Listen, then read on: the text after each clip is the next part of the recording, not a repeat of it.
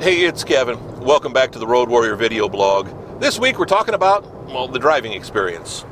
As I said, every now and again I talk about driving when I'm driving because it kind of comes to mind.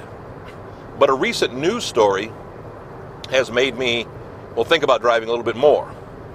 We had a road, a road, a road rage incident recently in Nashville that was actually in the city somebody had taken an Uber or a Lyft or something like that, or had picked up some people, or were dropping some people off at one of our local halfway houses, homeless shelters, called a room at the inn.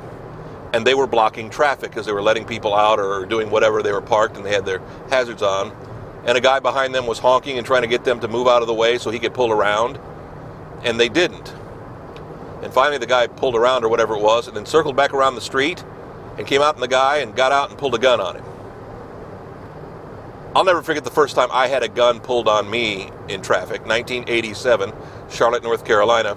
Um, I was working in radio there, and it was nine to five part of the job, and was heading home that day. And traffic was always heavy. Heavy. I didn't have to use interstates. I was always on back streets, and it was a, a long shot two lane road that was a good 40, 45 miles, cutting through neighborhoods or whatever. And I mean, I a guy was behind me or something like that in a pickup truck, and I don't remember. Was it? Did I have my Suzuki? Did I have? I don't remember what car I had time. A small car. It wasn't a big car by any stretch of the imagination. I didn't drive big cars. And he was like wanting to get around me, and so finally, on a no passing two lane road, he sees a thing and, and passes around me. So I honk and basically, you know, give him the Italian salute, as they say, flipped him off.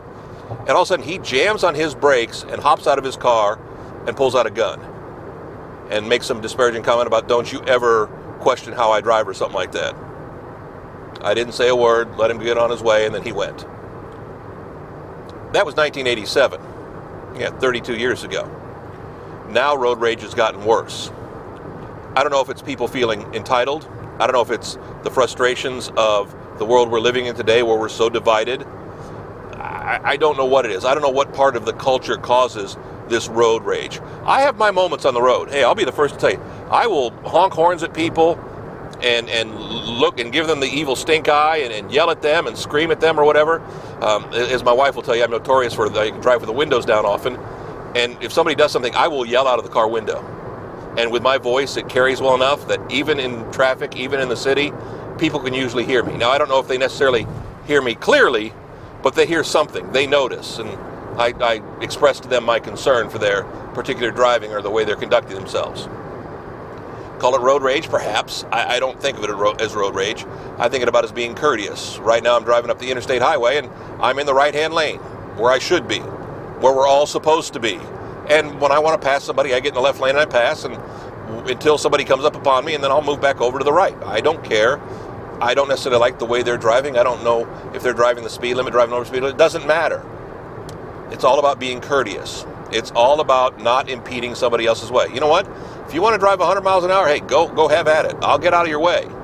Just don't impede my way. Just don't get in my way. Let's all be courteous of one another, and I think that's what we're missing. It's a sad statement and a sad commentary about the world we live in, where we're all out for our own selves. All we think about is ourselves. More and more road rage on the road all the times.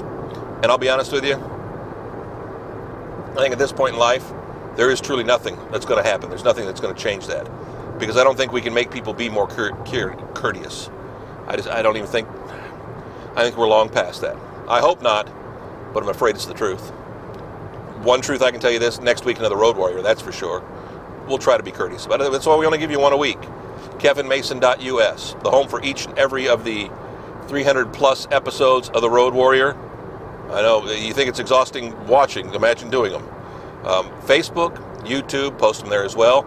I've even found them on some other video sites too that I didn't post there, and well, I, I don't mind. Doesn't bother me. Oh, that was my window shade going down. I better hang up and get back to fixing that. See you next week. Another Road Warrior. Thanks.